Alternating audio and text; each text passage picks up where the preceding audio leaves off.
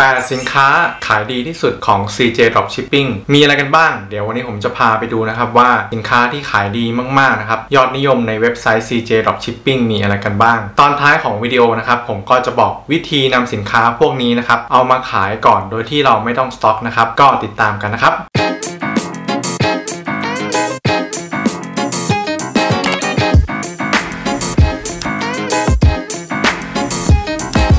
สวัสดีครับ ผมเซียนเป็ดครับ ช่องผมจะแนะนำเกี่ยวกับการหาเงินออนไลน์นะครับ ผมจะส่งวิดีโอไปให้เพื่อนๆดูทุกวันอังคาร แล้วก็วันพฤหัสนะครับ ถ้าไม่อยากพลาดเคล็ดลับการหาเงินออนไลน์ กด subscribe นะครับ แล้วก็กดกระดิ่งแจ้งเตือนกันไว้นะครับ จะได้ไม่พลาดกันนะครับสำหรับคนที่เพิ่งเข้ามาดูวิดีโอนี้เป็นวิดีโอแรกนะครับวิดีโอนี้ก็จะเป็นหนึ่งในเนื้อหานะครับที่เกี่ยวข้องกับ CJ Dropshipping ซึ่งเป็นเว็บไซต์ที่รับบริการนะครับ drop สินค้านะครับจากประเทศจีน ซึ่งตอนนี้เขามีโกดังนะครับมาอยู่ในประเทศไทยแล้ว เราสามารถ drop สินค้ามาขายนะครับโดยที่เราไม่ต้องสต็อกได้เลยนะครับถ้าใครยังไม่รู้จักนะครับว่า CJ Dropshipping คืออะไร ผมจะใส่ลิงก์เอาไว้นะครับก็ให้เพื่อนๆเข้าไปดูกันก่อนนะครับจะได้เข้าใจว่าการ drop ship สินค้าแบบแบบไม่สต็อกเนี่ยกับ CJ Dropshipping เนี่ยทำยังไงกันบ้างสำหรับวิดีโอนี้ผมก็จะมาแนะนำนะครับ8สินค้านะครับที่ขายดีนะครับข้อมูลตรงนี้เนี่ยเอามาจาก CJ นะครับก็คือสินค้าเนี่ยที่มีออเดอร์เยอะนะครับในโกดังที่จีนของ CJ Dropshipping นะครับก็เดี๋ยวไปดูกันครับว่ามีตัวไหนกันบ้าง สินค้าตัวแรกนะครับของ CJ ตัวนี้ก็จะเป็นที่ตั้งแล็ปท็อปนะครับ เดี๋ยวผมจะใส่ลิงก์สินค้าไว้ใต้วิดีโอนี้นะครับ เดี๋ยวเราไปดูวิดีโอกันนะครับว่าสินค้าตัวนี้คืออะไร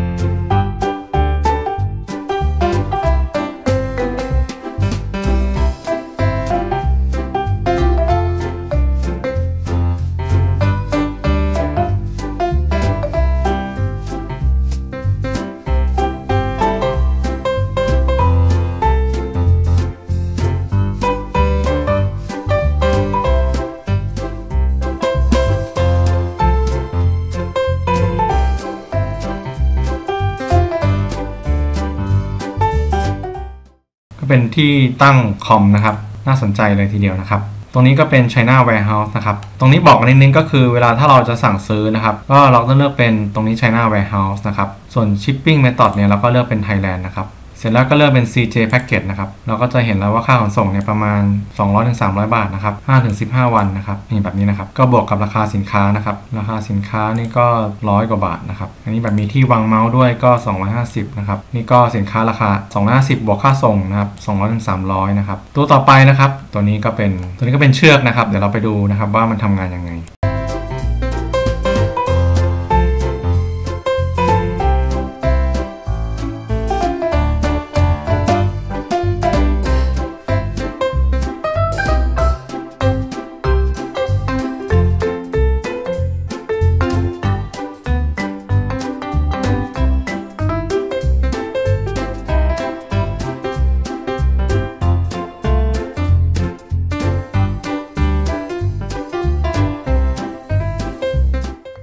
ก็เป็นเชือกนะครับ ตัวนี้ขายดีนะครับ เอาไว้ทำอะไรบ้างนะครับ เอาไว้จูงสุนัขกก็ได้นะครับแบบนี้ตัวนี้ก็ตัวที่2นะครับนี่ครับอย่าลืมเลือกเป็น China Warehouse นะครับ ถ้าเราจะสั่งซื้อเป็น pre order หรือว่าสั่งมาใช้เองนะครับเสร็จแล้วเราก็เลือกตรงนี้เป็น Thailand Thailand แล้วก็ CJ Package นะครับ ค่าส่งก็ประมาณร้อยนึงนะครับ ตัวต่อไปนะครับ อันนี้ก็เป็นที่ล็อกข้อเท้านะครับ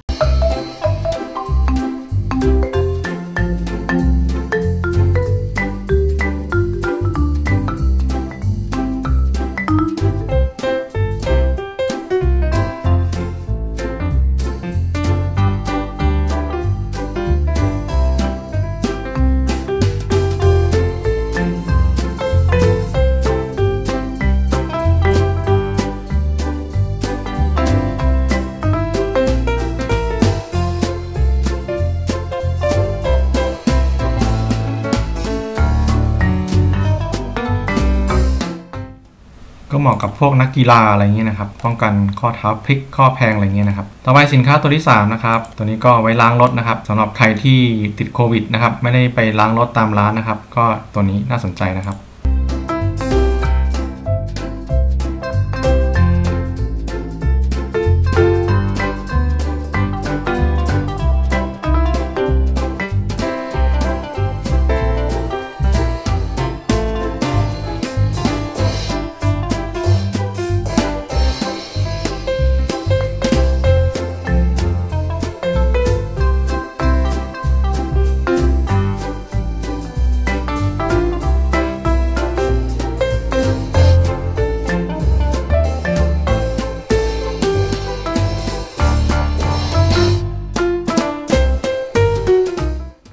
ช่วงนี้หน้าฝนด้วยนะครับ ขับรถไปไหนก็เนี่ยครับเอาไว้ติดบ้านก็ได้นะครับ ตอนนี้ตัวที่5นะครับตัวนี้ก็เป็นเป็นหูฟังนะครับ เดี๋ยวลองไปดูกันนะครับ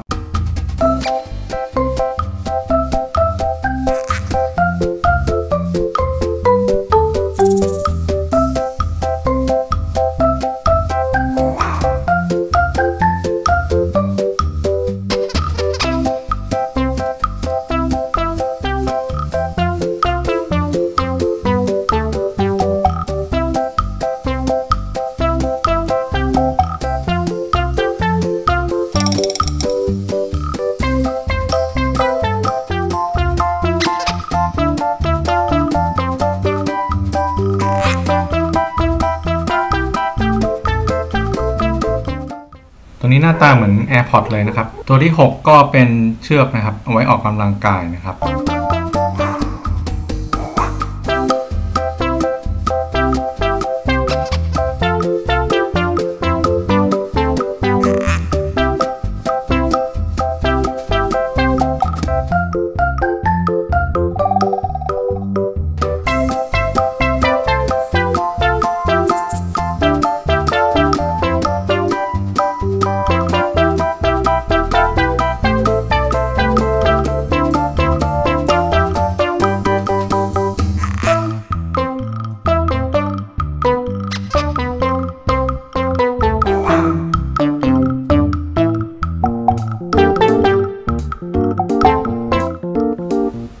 7 นะครับ สินค้าตัวนี้นี่เห็นในประเทศเรามานานมากนะครับ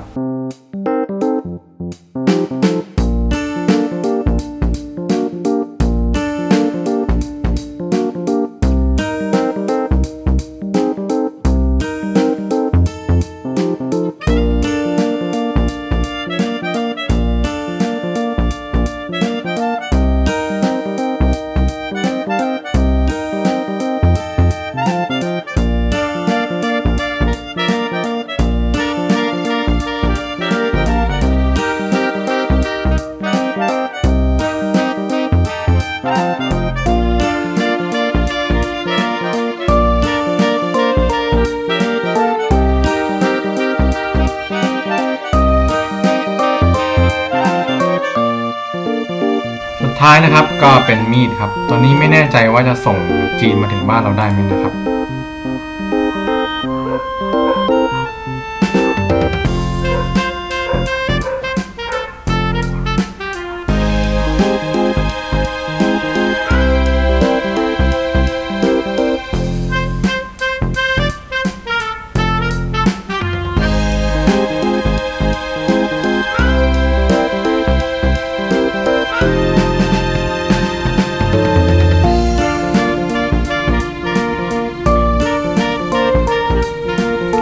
คมจนน่ากลัวเลยนะครับ ก็ครบแล้วนะครับสำหรับ 8 สินค้าที่ขายดีที่สุดนะครับของ CJ กับ Shipping ใน China Warehouse นะครับหลายๆคนเนี่ยก็จะเริ่มสนใจแล้วนะครับ ว่าจะเอาสินค้าพวกนี้มาขายยังไงนะครับไอ้8สินค้านี่นะครับเป็นสินค้าที่อยู่ในโกดังของ CJ นะครับที่จีนวิธีการนำมาขายเนี่ยนะครับก็ทำได้หลายวิธีนะครับ แต่ผมจะมาแนะนำแค่ 2 วิธีก่อนนะครับ วิธีแรกก็คือเราก็นำไปลิสต์นะครับลงขายใน s h อ p e e นะครับวิธีการทำเอาไปลงขายใน s h อ p e e เนี่ยผมได้ใส่ทำวิดีโอไปให้เรียบร้อยแล้วนะครับ ก็กดเข้าไปดูก่อนได้นะครับ แต่ว่าขั้นตอนเนี่ยอาจจะเปลี่ยนแปลงนิดหน่อยก็คือตอนที่เราลิสต์เนี่ยเราต้องเลือกเป็น China Warehouse นะครับแล้วการจัดส่งเนี่ยเราเลือกเป็น CJ to Shopee Facility China ก็คือเป็นการขนส่งจากประเทศจีนนะครับ ส่วนเวลาที่เราลงสินค้าใน Shopee เนี่ยให้เราเลือกระยะเวลาการจัดส่งเนี่ยเป็น 20 วัน แนะนำเลยก็คือประมาณ 20 วัน สินค้าตัวนี้จะเป็น pre-order นะครับ ความหมายของสินค้า pre-order ใน s h อ p e e ก็คือสินค้าเนี่ยการจัดส่งมากกว่า 7 วัน s h อ p e e อนุญาตให้เรามีสินค้าประเภทนี้นะครับ ในระบบในร้านค้า 1 ร้านเนี่ยได้ประมาณ 10%ก็คือเขาไม่อยากจะให้มี pre-order เยอะจนเกินไป ข้อควรระวังในการที่เอาสินค้าจากจีนมาลงใน s h อ p e e ก็คือ เราต้องสอบถามลูกค้าก่อนว่า สินค้ารอขนส่งเนี่ย5-20 วันสะดวกรอไหม ถ้าเขาสะดวกรอนะครับ เราถึงค่อยไปกดสั่งซื้อจากเว็บ CJ Dropshipping นะครับ พอสินค้านะครับส่งออกมาแล้วนะครับ เราก็ต้องคอยตรวจสอบด้วยนะครับว่าระยะเวลาการจะส่งเนี่ยมาถึงไทยหรือยังนะครับ โดยใช้ tracking นะครับ การเช็ค tracking เนี่ยผมได้สอนไปวิดีโอก่อนๆแล้วนะครับ ถ้าสินค้าเนี่ยมันนานนะครับนานกว่า 20 วันแบบนี้นะครับ ก่อนที่มันจะครบกำหนดที่ของต้องส่งถึงลูกค้าเนี่ยนะครับก็ให้เราไปแจ้งลูกค้าว่าช่วยขยายระยะเวลาการจะส่งใน s h อ p e e ด้วยนะครับ ตรงนี้ใครดรอปสินค้าจาก AliExpress เนี่ยก็น่าจะเข้าใจดีนะครับ ส่วนวิธีการสั่งซื้อสินค้าจาก CJ Drop Shipping นะครับในเพื่อมาขายใน s h อ p e e เนี่ยก็ทำคล้ายๆ กับเวลาสั่งสินค้าไทยนะครับแต่ว่าเราก็ต้องเลือกเป็นนะครับ China Warehouse แล้วก็ CJ to Shopee Facility China นะครับ เราต้องเลือก 2 ตัวนี้นะครับ วิธีการจะส่งเราก็เลือกเป็น Curry Drop Off เหมือนเดิมนะครับ ตรงนี้ก็ค่อนข้างจะซับซ้อนนิดนึงนะครับ ถ้าใครยังฟังตรงนี้ยังไม่เข้าใจนะครับ ไปฝึกทำขายของในโกดังไทยเนี่ยให้คล่องก่อนนะครับ แล้วก็ค่อยมาทำตรงนี้ เพราะว่าจะมีขั้นตอนพอสมควร อันนี้ก็คือวิธีแรก วิธีที่ 2 ก็คือเปิด Pre-order เราสามารถไปสร้างกลุ่มสร้างแฟนเพจเปิดกลุ่มไลน์นะครับ เสร็จแล้วก็เอาของนะครับสินค้าพวกนี้นะครับมาเปิด Pre-order นะครับ ใครสนใจก็โอนตังมาเลยนะครับ ใครโอนตังมานะครับแล้วเราก็ไปกดสั่งในเว็บไซต์ CJ เหมือนเดิมนะครับ แต่ว่าวิธีที่ 2 เนี่ย เปิด Pre-order เนี่ย เราไม่ได้เชื่อมกับ Shopee นะครับ เราก็เลยต้องเข้าไปที่หน้า CJ Shipping ก่อนนะครับ เสร็จแล้วเราก็กดกดสินค้าเนี่ย add to cart เลยนะครับ แล้วก็สั่งซื้อนะครับ วิธีการเลือกขนส่งเนี่ย ให้เราเลือกเป็น CJ Package ใส่ที่ชื่อที่อยู่ของลูกค้านะครับให้เรียบร้อยนะครับ เสร็จแล้วก็กดสั่งซื้อ ราคาค่าขนส่งเนี่ยจะแพงกว่าที่เราสั่งจากในโกดังไทยนะครับ ตรงนี้นะครับ พอเรากดสั่งนะครับ สินค้าก็ใช้ระยะเวลาประมาณ 15-20วันนะครับ ก็ต้องแจ้งลูกค้าให้เรียบร้อยว่าสินค้ารอกี่วันนะครับ ก็ประมาณนี้ นี่ก็คือ 2 วิธีที่เราสามารถนำสินค้าที่ผม แนะนำวันนี้เอามาขายดูนะครับ ก็ทดลองทำกันดู ก็หมดแล้วนะครับสำหรับเทคนิคการเอาสินค้านะครับจากจีนมาขายด้วยวิธีการพรีออเดอร์หรือว่าจะเอามาขายนะครับจากในเว็บไซต์ Shopee นะครับถ้าใครชอบเนื้อหานะครับการหาเงินออนไลน์แบบนี้อย่าลืมกด subscribe นะครับแล้วก็กดกระดิ่งแจ้งเตือนกันไว้นะครับมีคำถามสงสัยตรงไหนนะครับคอมเมนต์ไว้ใต้วิดีโอนะครับผมจะได้รู้ว่าจะต้องทำวิดีโออะไรมานะครับ เพื่อแจ้งให้เพื่อนๆทราบนะครับ โอเคครับ วันนี้ก็มีเท่านี้นะครับ สวัสดีครับ